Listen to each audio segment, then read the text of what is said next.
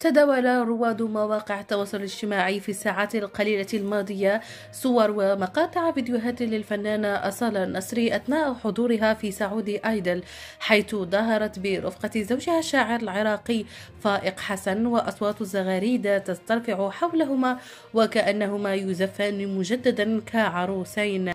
وبعدها خضعت الفنانة لجلسة تصويرية جديدة وقامت بمشاركتها مع متابعيها عبر حسابها الرسمي. على إنستغرام.